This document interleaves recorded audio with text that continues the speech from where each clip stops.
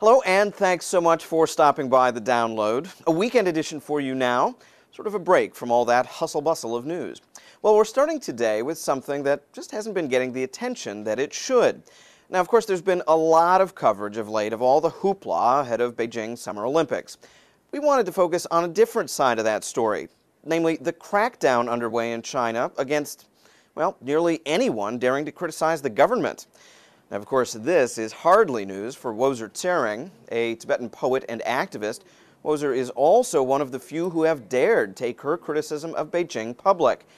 And it's come at a price.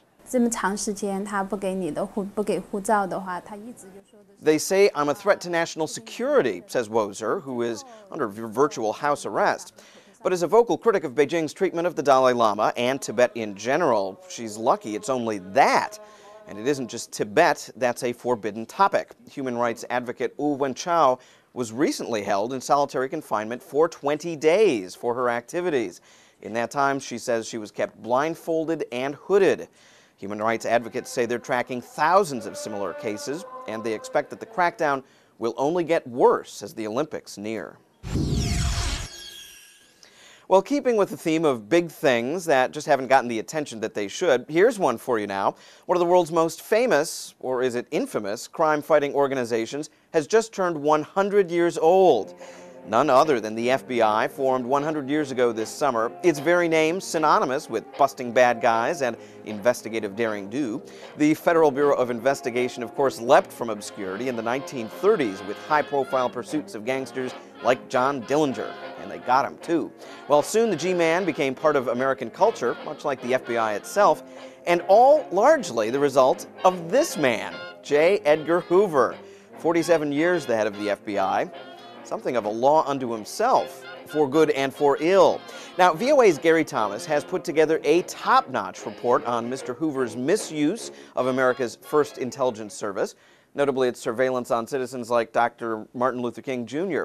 Uh, as well, he also takes a look at how the FBI is growing and changing in a changing world. Now, you can find it all on our website, voanews.com. And also, we're going to link to it from our YouTube page. Just go to the link that's at the bottom of the screen, find today's download at our home on YouTube, and click play. We'll do all the rest. Well, lastly today, a story that we can't honestly say has not got enough attention. In fact, I can pretty much guarantee that our running it now means it's getting too much. Our last item taking us to this park in St. Petersburg, Russia. Mm, very nice.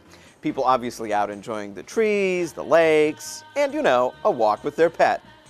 Their pet pig. Hey, out of the way. Uh, this little slab of bacon, just one of the hundreds of mini pigs that have become very popular as pets, apparently, in St. Petersburg. Exactly why eludes us.